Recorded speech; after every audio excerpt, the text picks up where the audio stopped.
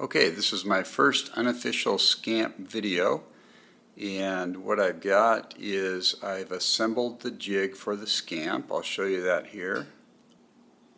So here is the jig. Uh, it's basically it's made out of plywood and the bottom of the boat will sit on this so that the hull will follow the curvature of this jig as I build the boat. And actually what I'm going to do is put this baby up on 12 inch legs so it's up at a better height to work on.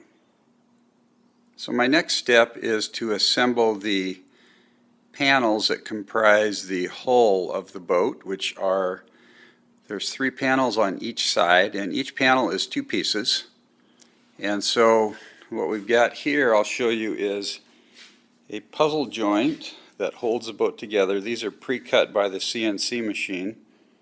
So my job is to epoxy these together. And the way I'm going to do that is, first of all, I took some 220 paper and a small file and cleaned up all these edges along here.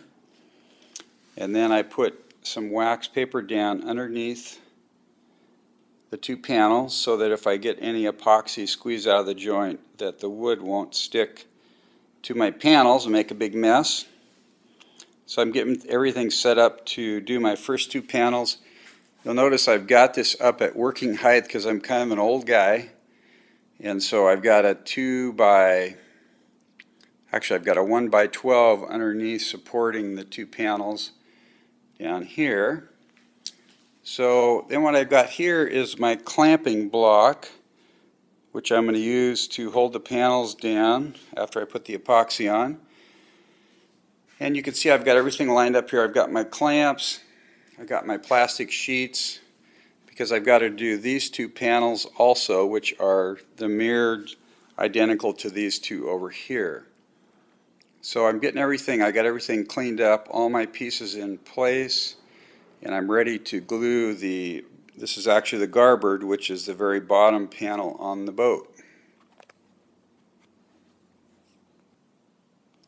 So stick around and we will have uh, some more video of the actual epoxy process coming up next. Thanks.